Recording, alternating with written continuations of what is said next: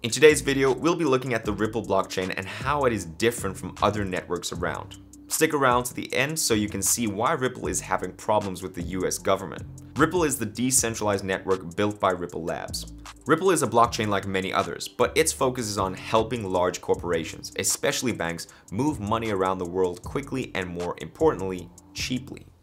The Ripple network is unique in its consensus protocol. It uses the XRP ledger, which basically has a set of rules that must be followed before a transaction is validated. The XRP ledger stores its entire transaction history on special computers that have been distributed to banks across the world. Remember, we said that Ripple was actually focused on helping banks? Well, one of the major problems that banks face is moving money overseas. The present system is quite slow and expensive. Ripple aims to change all of that. Ripple can handle 1,500 transactions per second thanks to its unique consensus protocol. It has an incredible